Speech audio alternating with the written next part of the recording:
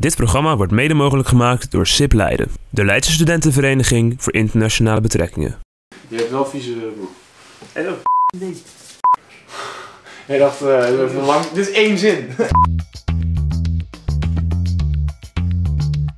Welkom bij Opstap, een nieuw programma waarbij we in gesprek gaan met diverse belangrijke personen. Op dit moment is er nog wat aan de hand in de wereld en wij gaan op zoek naar de achtergronden bij het nieuws. En deze keer kijken we vooruit naar de Amerikaanse verkiezingen. Over twee maanden gaan er miljoenen Amerikanen naar de stembus om te kiezen tussen democraat Joe Biden en zittend president Donald Trump. Het belooft, net als in 2016, weer een ontzettend spannende en onvoorspelbare race te worden. En dan speelt corona natuurlijk ook nog mee, want met de meeste besmettingen en doden in totaal is de VS het land waar corona bovenaan de agenda staat. Sommigen steunen president Trump en anderen denken dat het toch heel veel schade voorkomen had kunnen worden. Om meer te weten te komen over de Amerikaanse verkiezingen, de coronacrisis in de VS en het leven als Amerikaan in Nederland, zijn we bij niemand minder dan Piet Hoekstra, ambassadeur van de VS in Nederland, langs gegaan om hem te vragen over deze onderwerpen. Het is dan ook een unieke situatie te noemen om als ambassadeur te dienen in het land waar je bent geboren. We wachten niet langer en we gaan meteen door naar het interview. So, Mr. Ambassador, you're the ambassador to the Netherlands for America. Can you tell us a bit about yourself? Like you were born here, I. Uh... Uh, ik was in Groningen geboren. Uh, my parents immigrated when I was three years old. Uh, the Netherlands was still a tough place. They, they worried about what the potential and the opportunities would be for their kids. And they said, you know, we've got a sense of adventure. Uh, let's make sure that we find a place that has opportunity for our kids. And so when I was three years old, they packed up and they moved to Holland, Michigan I followed the American dream. and found uh, in many ways the, uh, the American dream. Absolutely. What is it like to be the ambassador uh, to, of the United States to the country that you were born? Oh, it's very, very special. You know, there's probably only uh, a few people at any given time or over a period of time that have that opportunity to be the ambassador, uh, not uh, only to a country where maybe their family roots go to, but yes, where you were actually born. I mean, you know, a couple of weeks ago we biked around the Netherlands and I got to Groningen and I biked around a place and there was a sign that said Paterswolde. And it's like, oh, I know that.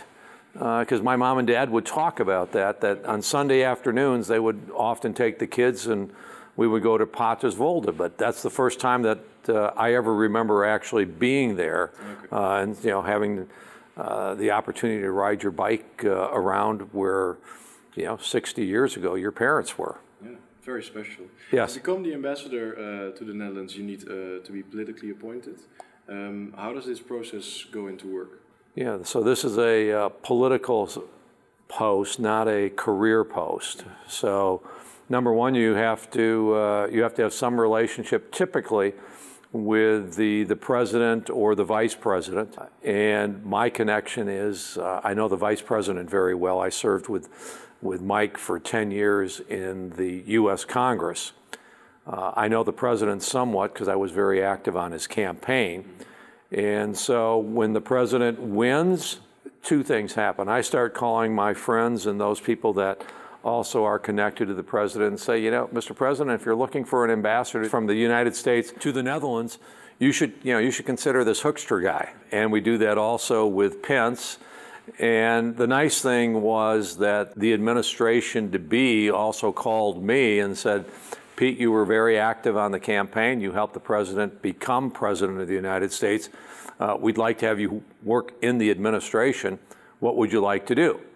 And it's kind of like, my number one choice is I'd like to be the ambassador to the Netherlands. That was your choice. That was my choice. They came back and said, well, you know, we might want to consider you for some jobs in Washington, D.C.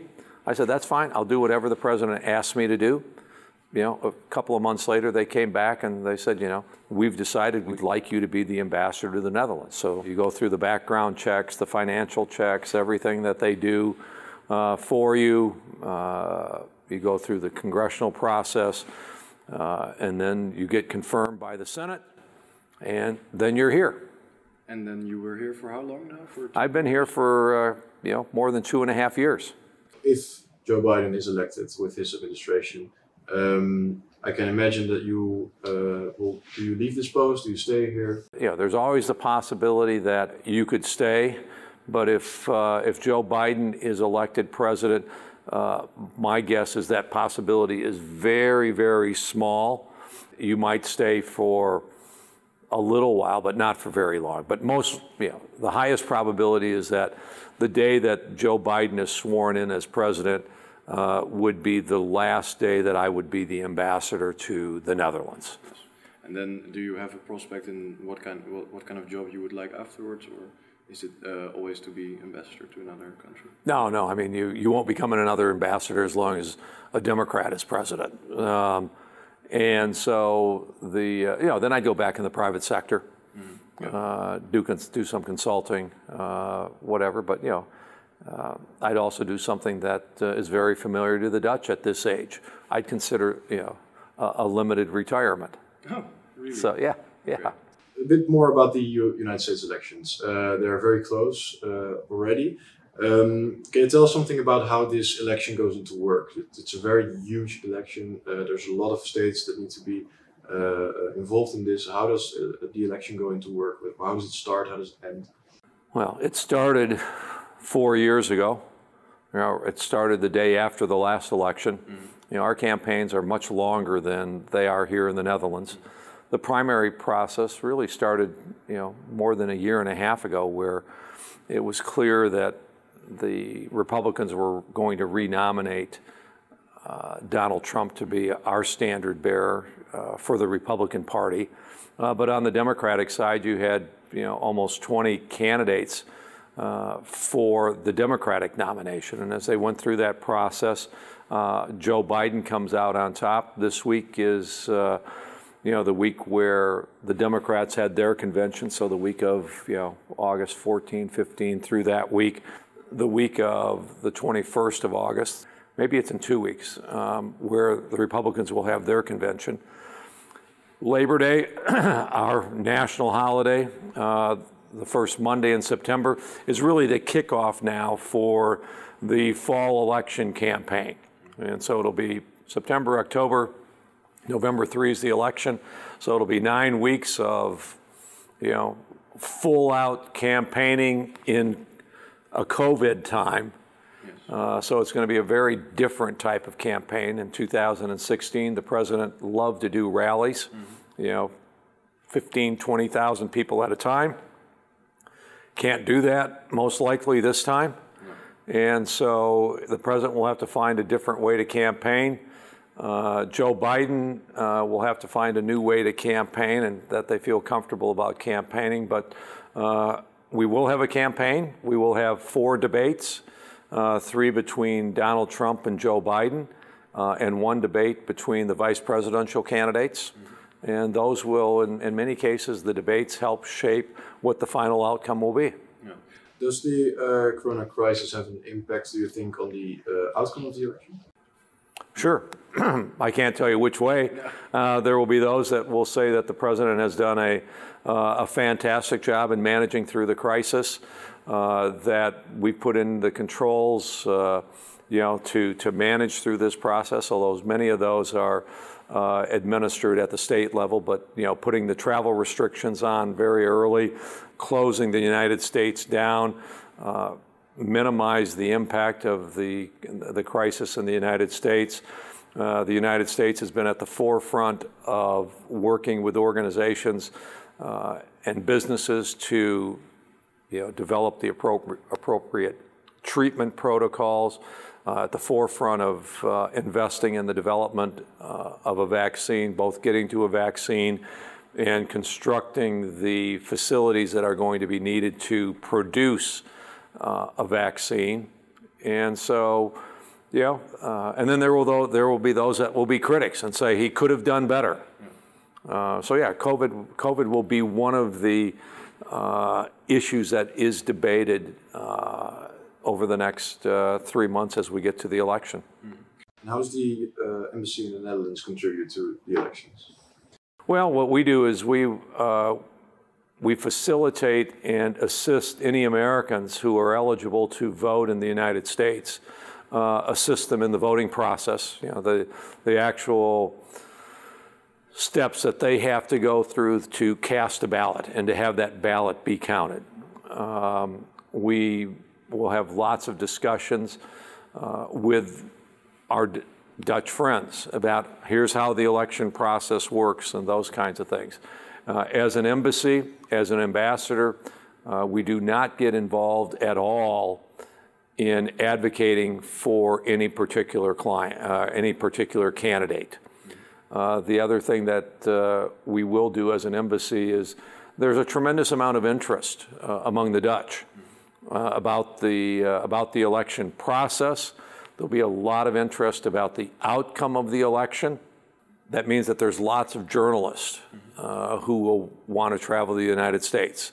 Uh, we have special exemptions allowed for journalists to travel to the United States uh, for the election, but uh, the embassy, our consulate in Amsterdam, will have to facilitate uh, and make sure that these individuals get the proper paperwork so that they can actually be in the United States uh, and cover the election. Yes, of course. And um, do you think what, what kind of impact will the uh, election in the United States have on the Dutch elections in 2021? Very little. Very little. Yeah, I mean, we, um, we have our election.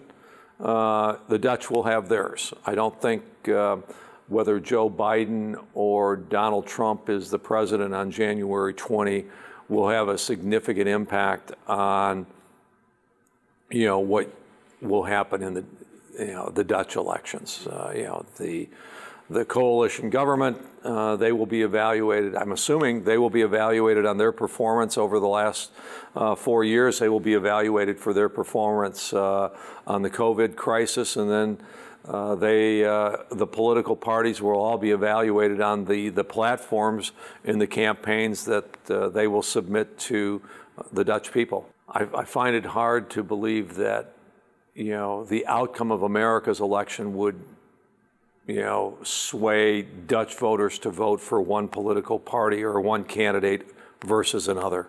Yeah, there's an increasingly amount of attention for the elections in the United States, also in the Netherlands, uh, among students as well. And to the students who are really into the, uh, uh, really interested into, into, the election, what would you say to them uh, when looking at the Dutch elections? Elections are important. Okay, I mean, in the United States, and I think it's different here uh, but we have the lowest turnout among young people. Mm-hmm. They don't come out, they don't vote. Why is that? I don't know, okay? Because what I would always tell them, I would spend a lot of time going to colleges and, uh, and talking to young people and say, you know, these elections decide your future. Mm-hmm. Because the decisions that are made by the uh, Congress, that are made by a parliament, that are made by a prime minister, that are made by a president, yes, they have a short term impact, uh, but more importantly, they have a long term impact. Are they creating a framework that when you get out of college, out of university, that there's going to be jobs and it's going to be a strong economy, uh, you know, or are they putting in place a framework that uh, you're going to be in a difficult time for uh, for your economy? You know, what will your environment look like? Uh, you know, and, and all of those kinds of things. So the uh, politicians in the United States who are typically, we are, we are typically much older than, um, you know, college students and that. You're much closer. I mean, yeah. we've got politicians that are 70, 80 years old, right? Well, take a look at our two presidential yes. candidates. They're both in the 70s. Mm-hmm. You know, I think you're old if you're in parliament and if you're 50 years old. Well, the average age is around 44. In, so, you know, in the U.S., you've got an old, the older generation designing the future for the younger folks. Mm-hmm. And it really should be the other way around. There should be, young people should have a much bigger interest in politics. They should be out deciding who is going to be in Congress, who's going to be president, because they're shaping your future. Mm-hmm. You know, uh, you know, people my age, we're not, you know, our future's been decided, okay? Know, but for the young people, it, it's, you know, the role in the world, all of those issues are being framed in Parliament and being framed in Congress right now. Yes. And you've already uh, mentioned some differences between the Dutch and the uh, Dutch system in the United States. Um, what kind of uh, differences are, do you think, beneficial to the United States? Something that they might uh, change in their electoral system? Well, I mean, you know, we have a, uh, our system is very straightforward. It's, it's primarily a two-party system. Uh, not always, uh, but when it comes down to, you know, uh, like Bernie Sanders labels himself as an independent. Uh, but when he runs for president, he's a Democrat. Okay, he didn't run as an independent, he ran as a Democrat.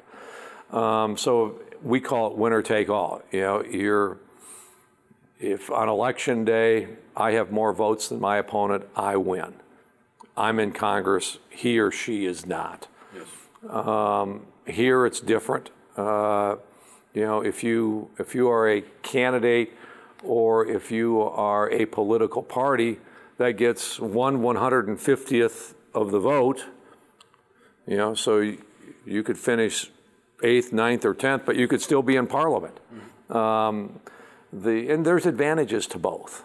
Okay, um, the um, I'm fine. I'm fine. I like the way we run our elections. I think it works for us. Uh, if I had one observation about the Dutch, and uh, you know, I would think about perhaps creating a minimum threshold, saying that you know a party doesn't have members in Parliament unless they, you know, whatever number they, they get at least three percent of the vote, or they get five percent of the vote. Um, you know, but that's for the Dutch to figure out. That's not for the American ambassador to tell them how to do it. I just look at it and say, you know, uh, you know the threshold to get into parliament is very small. Do you, do you think that uh, the two party system will ever change in the United States? We would have to have a dramatic change in how we conduct elections uh, for the two party system to, uh, to change dramatically. You know, we've had a few significant uh, third party candidates. We had uh, George Wallace well before you were born. 68, I think, was when 68 or 72 was was when he played. I think it was 68 when he played a factor in the elections as a third party candidate. Uh, we had Ross Perot. Uh, again, maybe just before, right as you were being born in 1992, uh, that had an impact uh, on the election. We've had the ability for third party candidates to influence the outcome of a, of a presidential election but we've never seen a person running as a third party being able to then, as a result of that, create a new party and a third party. Do these third parties have more influence in a, a local scale in the United States, like for in a state or in a certain uh, municipality? No. No, they don't. I mean, third party candidates have um, you know, have not done very well.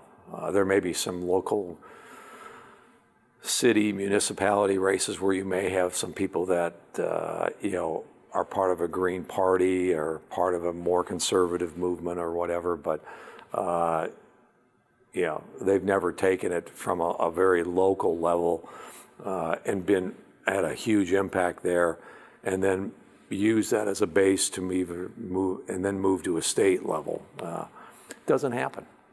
Okay, and um, we've talked about the elections, the uh, crisis. Uh, during this crisis, uh, new and new more young people will go to college, go to university, but everything will be different this uh, this year. What is your message to these students that are going to start with their studies right now?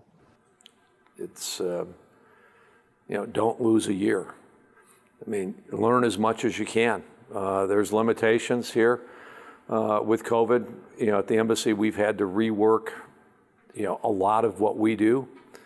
Uh, you know, we didn't want to lose six or eight months. So, you know, we, we found a way of doing things differently, uh, working with the Dutch government differently, working with, uh, you know, the Dutch people differently, uh, getting our message out. So hopefully we've we've been pretty effective in continuing to you know do our mission.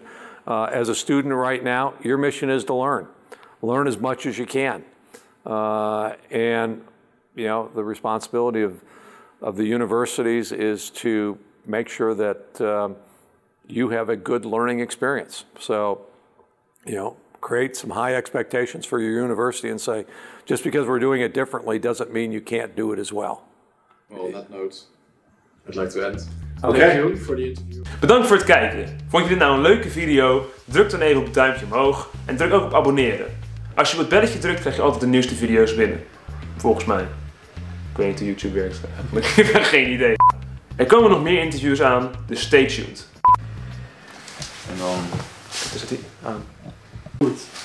My god, oké, maar die tekst heb ik nog niet gelezen. Gemerkt werden komen aan verkiezingen corona bij de VS. Jezus, wat een zin!